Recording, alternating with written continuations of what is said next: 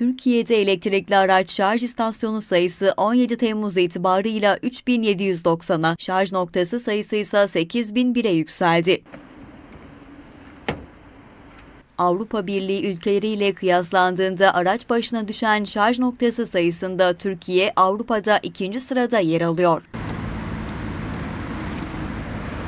Türkiye çapında bu yıl başında 1719 olan şarj istasyonu sayısı 3790'a, 3081 olan şarj noktası sayısı ise 8001'e yükseldi. Türkiye İstatistik Kurumu verilerine göre de Haziran 2023 sonu itibarıyla Türkiye genelinde 27.476 adet şarj edilebilir elektrikli araç bulunuyor.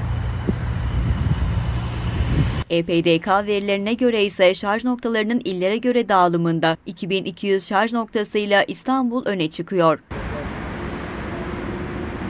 Öte yandan mobil uygulama Şarj et.tr şarj noktası bulmada kolaylık sunuyor. Araç kullanıcıları uygulama üzerinden her türlü bilgiye ulaşarak öğrenme imkanı buluyor.